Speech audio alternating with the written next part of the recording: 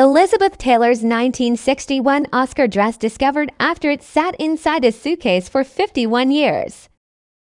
The dress was designed by Christian Dior, and it is now on an auction for 60,000 pounds.